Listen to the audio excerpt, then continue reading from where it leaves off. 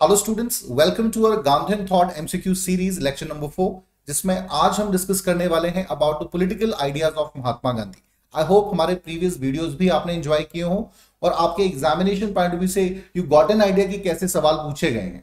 तो चलिए स्टूडेंट शुरू करते हैं आज का लेक्चर क्वेश्चन नंबर वन आपकी स्क्रीन पे है।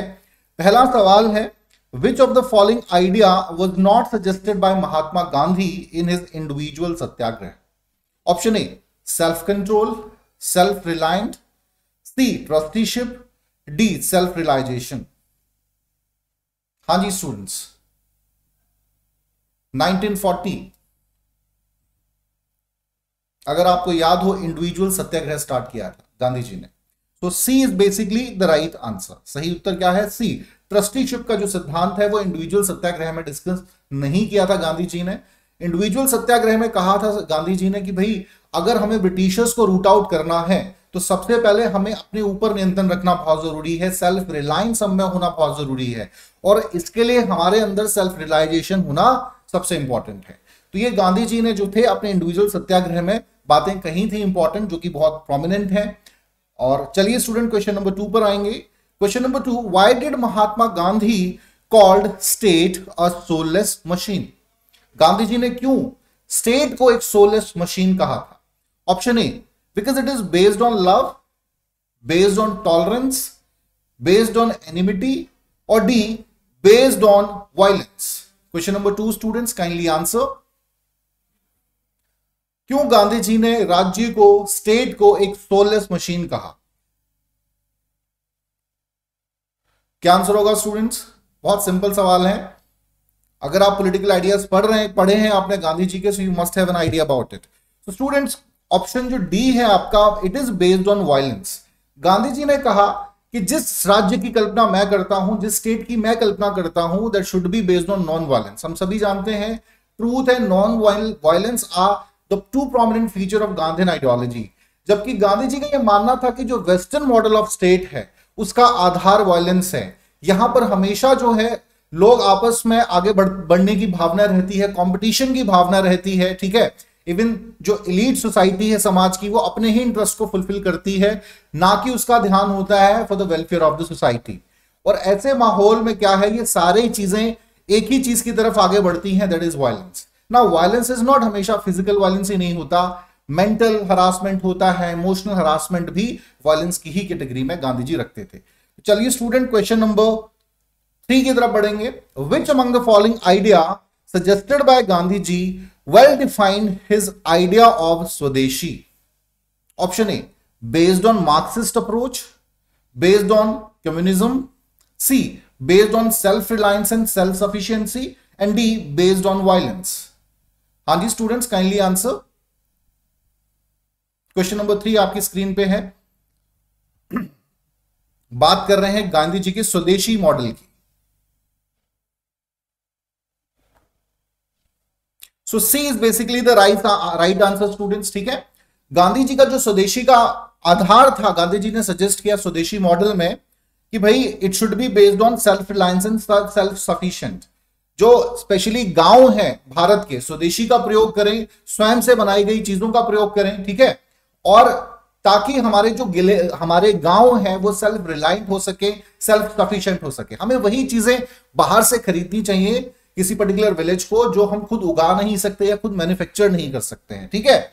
अगर लिबरल होंगे गाँव, अगर एजुकेटेड होंगे तभी ये संभव हो पाएगा। ये गांधी जी ने कहा था अपने स्वदेशी मॉडल में। चलिए question number four students what did Mahatma Gandhi said about his cultural swaraj? Option A accept good things from all culture and religion option B accept false practice C create one on culture and B support elite class Gandhi ji ने अपने cultural Swaraj में क्या कहा था? स्वराज का जो उनका idea था सेल्फ रूल का जो उनका विचार था तो स्टूडेंट्स ऑप्शन ए जो है accept good things from all cultures and religions Gandhi ji का ये कहना था कि भाई, स्वराज तभी संभव होगा जब हम सभी रिलीजन्स का सम्मान करेंगे। We need to accept good things even that religion जिनको हम सही नहीं मान रहे, ठीक है? क्योंकि सभी धर्मों में कुछ ना कुछ अच्छी बातें हैं। अगर हम ग्रहण करेंगे तो हमारा जो स्वराज का आइडिया है, वो सही मायनों में सक्सेसफुल हो पाएगा। ठीक है? सेल्फ रूल का जो सिद्धांत है because India is basically multi religious nation right तो मिलकर साथ रहने की जो विचारधारा थी, इस गांधी गांधी जी उसको प्रमोट करते थे। Now talk about question number five students there is no human institution but has its dangers the greater the institution the greater the chances of abuse about whom Gandhi ji set these lines option A about swaraj about culture about religion और about state question number five students Gandhi ji ने ये जो words है गांधी जी द्वारा, किस context में, किसके लिए शब्द कहे थे?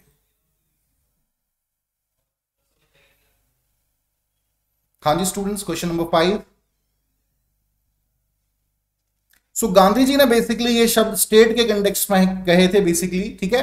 Specially the western model of जो स्टेट है, जो आधारित है आपके सेंट्रलाइजेशन पर, ठीक है? गांधी जी का ये मानना था कि भाई they shall be the provision of या existence of decentralisation of power इसमें ज़्यादा से ज़्यादा शक्तियाँ गाँव को दी जाए विलेजेस को दी जाए, ठीक है? क्योंकि जितना ज़्यादा हमारे गाँव जो हैं, जिनकी, उनके पास ज़्यादा पावर होगी एम्पावर ज़्यादा होंगे उतनी ही हमारी निर्भरता, हमारी डिपेंडेंसी होगी, कम होगी, ठीक है?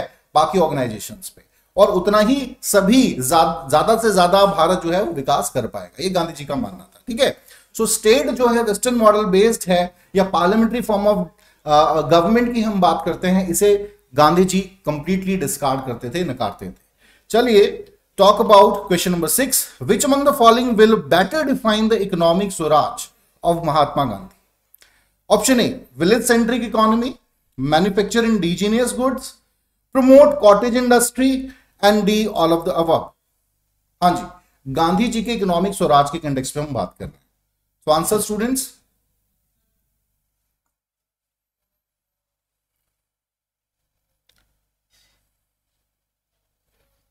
so students D is basically the right answer जब गांधी जी स्वराज के इंप्लीमेंटेशन की बात करते हैं सेल्फ रूल की बात करते हैं तो उन्होंने कहा, जब हम इकोनॉमिक स्वराज को पाना चाहेंगे that should be basically village centric उसका केंद्र जो है भारत के गाँव होने चाहिए।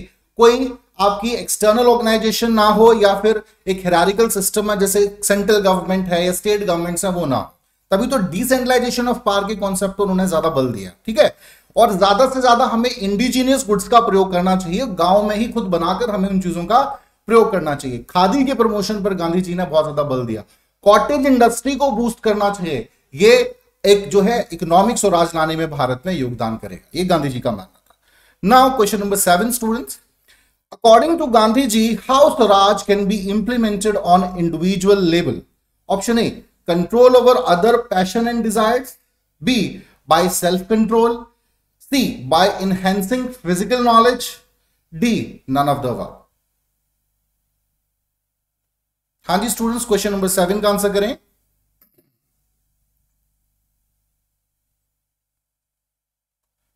So B is basically the right answer Gandhi ji का यह मानना था कि भाई इंडिविजुअल लेवल पर स्वराज को इंप्लीमेंट करना, जो इंडिविजुअल स्वराज की हम बात कर रहे हैं, उसके लिए हमें अपने अंदर सेल्फ रियलाइजेशन होना चाहिए सेल्फ कंट्रोल जब तक हमें नहीं है, ठीक है? तब तक हम जो है फर्दर एक्सटर्नल स्वराज को प्राप्त नहीं कर पाएँगे। तो basically B is basically the right answer ठीक है? हमें अपने डिजायर्स और पैशन पे नियंत्रण रखना है, दूसरों की नहीं। ये गांधी जी ने कहा। चलिए talk about question number eight why did Gandhi ji discard the western model of state option A state is based on centralisation state is based on violence only fulfil the interest of elite class और D all of the अब क्यों गांधी जी ने western model of state को नकारा?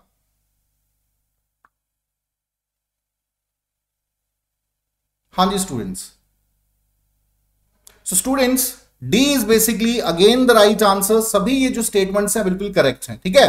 देखिए गांधी जी का जो model है स्टेट का that is based on decentralisation of power शक्तियों का विकेंद्रीकरण उन्होंने करना चाहा, जिसमें गाँव को ज़्यादा से ज़्यादा एम्पावर दी जाए एम्पावर दी जाए। और ये आधारित था नॉन वायलेंस पे। वायलेंस पर कभी भी आधारित नहीं था। इसलिए तो गांधी जी वेस्टर्न मॉडल को क्रिटिसाइज कर रहे हैं। और ये भी गांधी जी ने कहा कि जो सेंट्रलाइज मॉडल ऑफ़ स्टेट है, ये सिर्फ़ कुछ लोगों के हितों की ही रक्षा करता है। पूरे समाज की या आम जनता के भले की कभी सोच ही नहीं सकता।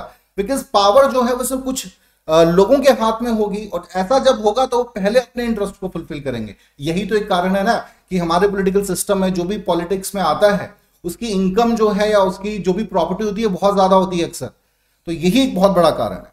चलिए question number nine to the Gandhi ji consider the following statement about stateless democracy option A option first जो है of satyagrahis basis of voluntary cooperation dignified and peaceful coexistence so कौन सी स्टेटमेंट इसमें करेक्ट है students ये आपने बताना है। पहली statement option B one and two C two and three और D all of the above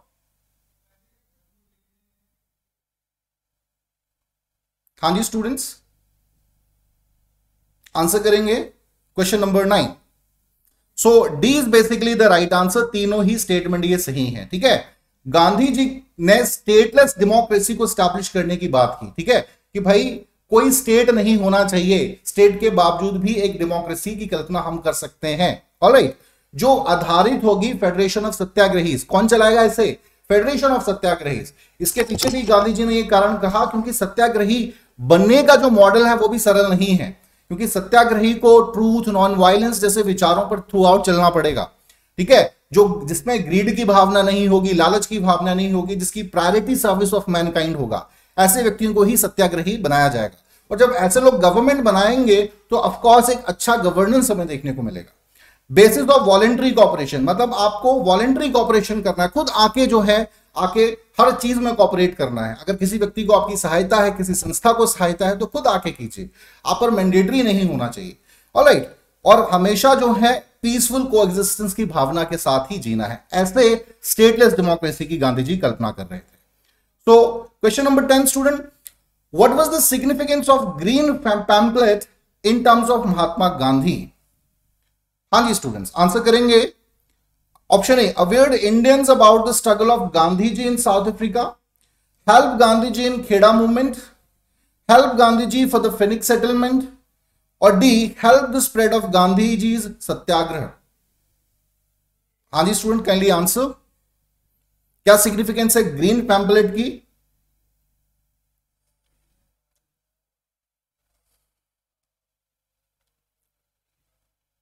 तो स्टूडेंट्स ऑप्शन ए जो है बिल्कुल सही है आपका। ग्रीन पैम्पलेट ही क्या था, जरा इसको मैं बता दूँ। जब गांधी जी अपने साउथ अफ्रीका का जो उन्होंने, उनका स्ट्रगल था, उसके बाद भारत आए थे, ठीक है? तो उनको इंडिया में, उनका जो साउथ अफ्रीका में स्ट्रगल था, उसके बारे में भारतीयों को तो जानकारी नहीं थी। तो वो चाहते थे कि जो स्ट्रगल उन्होंने, जो प्रॉब्लम्स वहाँ फेस की हैं और जिस तरीके से मैनेज किया है, ठीक है? उसको वो भारतीयों तक पहुँचाए। तो इसके लिए उन्होंने क्या किया? ग्रीन ग्रीन कलर के पैम्पलेट छपवाए। कलर क्योंकि ग्रीन था, इसलिए वो ग्रीन पैम्पलेट बहुत फ़ेमस हो गया। जिसमें साउथ अफ्रीका में जो उनके स्ट्रगल की स्टोरीज थी, वो हाईलाइटेड थी इसमें। चिल्ड्रंस ने, बच्चों ने, बहुत ज़्यादा यूथ ने गांधी जी की सहायता की। फर्दर इन्हीं पैम्पलेट्स के माध्यम से जो ग्रेट इंडियन पर्सनालिटीज थी फ्रीडम स्ट्रगल की, ठीक है? गोपाल कृष्ण गोखले फिरोज शाह मेहता, इन सभी को गांधी जी के बारे में जानकारी मिली। तो इस ग्रीन पैम्पलेट का बहुत ज़्यादा सिग्निफिकेंस है गांधी जी के जीवन में, ठीक है? और बहुत बार जो है, ये सवाल जो है आपके एग्ज़ाम्स में पूछा जा सकता है important students now talk about question number eleven who was nominated by Gandhi ji to to lead the satyagrahis on the Dandi march in the event of his arrest जब गांधी जी डांडी मार्च पे अरेस्ट हुए थे, ठीक है? Option A Jawaharlal Nehru B Vithalbhai Patel C Abdul Gaffar Khan और D Abbas Tyabji हाँ जी students kindly answer क्या आंसर होगा? Question number eleven so D is basically the right answer ठीक है? जब गांधी जी जो, अब्बास तैब जी जो थे, वो भी बहुत फ़ेमस फ्रीडम फाइटर रहे हैं और बहुत क्लोज थे गांधी जी के। तो जब गांधी जी को डांडी मार्च के दौरान अरेस्ट कर लिया गया था तो गांधी गांधी जी ने इन्हें अपॉइंट किया था नॉमिनेट किया था कि आप इस सत्याग्रह को फर्दर लीड करेंगे, जो डांडी मार्च में था। चलिए स्टूडेंट सिंपल सवाल है ये तो। Question number twelve who describe Gandhi ji Gandhi march to Dandi in the following word like the historic march of Ramchandra to Lanka the march of Gandhi will be memorable option A Motilal Nehru B Sarojini Naidu C Vallabhbhai Patel and D Madan Mohan Malaviya answer करें student question number twelve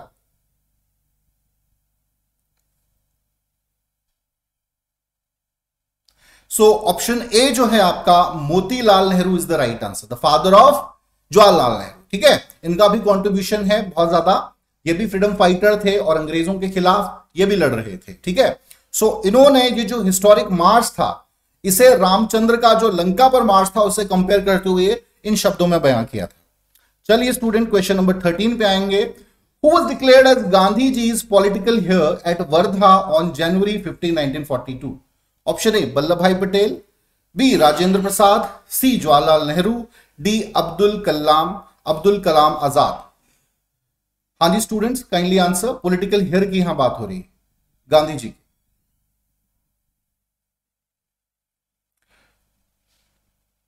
सो so, ये कल भी हमने question discuss किया था C is the right answer spiritual heir Vinoba Bhave को declare किया था और जवाहरलाल नेहरू जी को गांधी जी ने अपना पॉलिटिकल हेयर जो था नामित करके वो गए थे चलिए स्टूडेंट क्वेश्चन नंबर 14 पे आएँगे। Which among the following colleagues of Mahatma Gandhi encourage him to start weekly magazine to spread the awareness of their struggle against the racial discrimination in South Africa हाँ जी students Paranesh Mishra Madanjit Pranjivan Das Mehta and D Yogesh Atri क्या answer होगा students so B is basically the right answer ठीक है? मदन जीत जो कि महात्मा गांधी जी की colleague थे, इन्होंने गांधी जी को इंस्पायर किया कि जो अभी आपने डिस्क्रिमिनेशन के खिलाफ साउथ अफ्रीका में लड़ाई लड़ी है, ये आम जनता तक पहुंचनी चाहिए। तो इसके लिए जो है, आप एक वीकली न्यूज़पेपर पब्लिश करें, जिसका नाम था फ्रदर इंडियन ओपिनियन के नाम से हम जानते हैं। ठीक है? तो ये बेसिकली जो व्यक्ति थे, वो थे मदन जीत चलिए क्वेश्चन नंबर 15 पर आएँगे which among the following friend of Mahatma Gandhi him a book unto this last on his journey from Johannesburg to Durban Pranjivan Das Mehta C F Andrews mister Polak and विषय विनय अचनोरा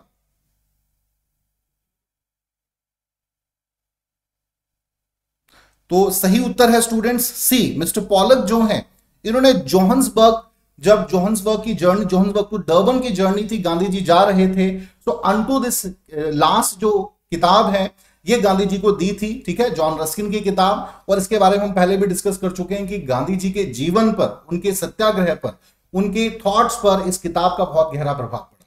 तो बहुत important ये गांधी जी, ये contribution हम कह सकते हैं मिस्टर पॉलक का गांधी जी की लाइफ में रहा, ठीक है? तो चलिए स्टूडेंट आज के लिए इतना ही कुछ क्वेश्चंस थे जो हमने डिस्कस किए आई होप इसी प्रकार से हमारे क्वेश्चंस आपके एग्ज़ाम में काम आए, और डेली हमारे सीरीज़ के साथ आप बने रहें। तो आज के लिए इतना ही Thank you very much.